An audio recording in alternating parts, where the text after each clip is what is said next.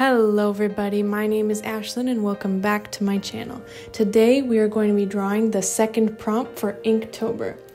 And I started with some coffee and here are some sketches that I made even though I didn't really follow the sketches in my final drawing.